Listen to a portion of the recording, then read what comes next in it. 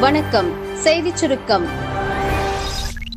NEET பயிற்சிக்கு hitech ஆய்வகம் தமிழக அரசு ஏற்பாடு. கோவிட் காரணமாக பள்ளிகளுக்கு முப்பத்தி ஓராம் தேதி வரை விடுமுறை அளிக்கப்பட்டுள்ளது. பொதுத் தேர்வு எழுதும் மாணவர்கள் இந்த நேரத்தில் தேர்வுக்கு தயாராக வேண்டும் என அறிவுறுத்தப்பட்டது.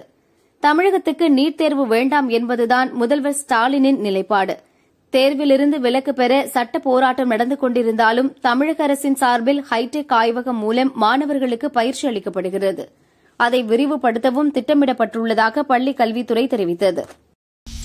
சந்திரபாபு நாயுடுவுக்கு கோவிட் பாசிட்டிவ். ஆந்திர மாநில முன்னாள் முதல்வரும் தெலுங்கு தேசம் கட்சி தலைவருமான சந்திரபாபு நாயுடுவிற்கு கோவிட் தொற்று உறுதியாகியுள்ளது. லேசான அறிகுறிகள் மட்டும் இருப்பதாகவும் வீட்டில் தனிமைப்படுத்திக் கொண்டதாகவும் அவர் தெரிவித்துள்ளார். தன்னை நேரில் சந்தித்தவர்கள் உடனடியாக பரிசோதனை செய்து கொள்ளுங்கள். பாதுகாப்பாக இருங்கள் என்றும் சந்திரபாபு கூறியுள்ளார். புதுச்சேரியில் பத்தாயிரம் பேருக்கு சிகிச்சை.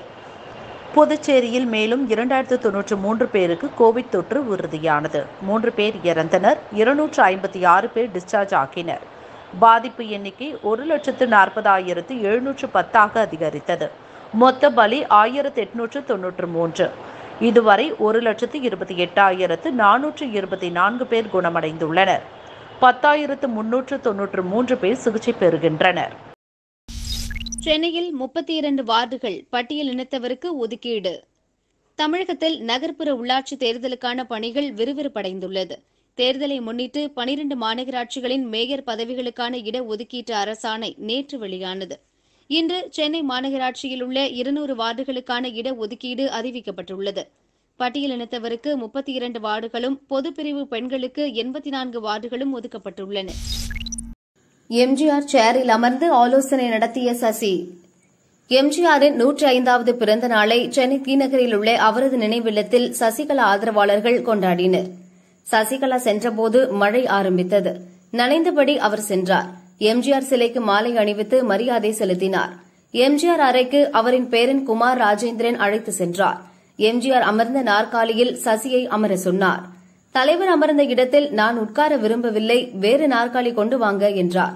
ஆனால் ஆதரவாளர்கள் வலியுறுத்தினர். எனவே அதில் அமர்ந்தார். நிர்வாகிகளிடம் முப்பது நிமிடம் சசிகலா ஆலோசனை நடத்தினார். இருபத்தி ஓராம் தேதிக்கு பின் நல்ல செய்தி வரும் என தெரிவித்தார். மீண்டும் அதிமுக ஆட்சி மலரும் என்றார். குமரகோட்டத்தில் கோபுர தரிசனம் செய்த பக்தர்கள்.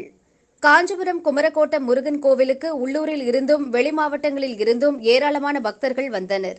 கோவிட் காரணமாக அனுமதி இல்லாததால் கோவில் வாசலில் தேங்காய் உடைத்து கற்பூரம் ஏற்றி வழிபட்டனர். கோபுரத்தை தரிசனம் செய்தனர். திருத்தணியில் தைப்பூச திருவிழா. முருகன் கோவில்களில் இன்று தைப்பூச விழா கொண்டாடப்படுகிறது. திருத்தணியில் உள்ள ஆறு படை வீடுகளில் ஐந்தாம் படை வீடான சுப்பிரமணிய சுவாமி கோவிலில் நடந்த தைப்பூச விழாவில் பக்தர்களுக்கு அனுமதி இல்லை. பக்தர்கள் கூட்டமின்றி கோவில் வெறிச்சோடி காணப்பட்டது.